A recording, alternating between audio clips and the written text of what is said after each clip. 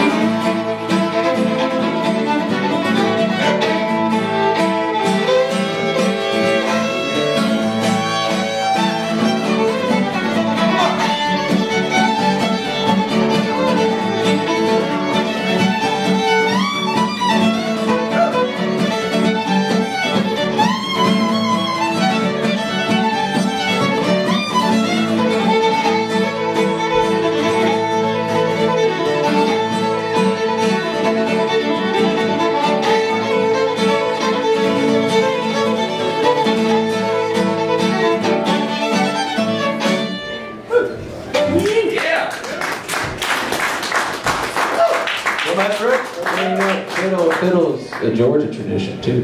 Yeah. Y'all from Georgia? Who's from Georgia? Are we in Georgia right now? Yeah, right. We're only one, two days in this tour. I don't know if I know where we are.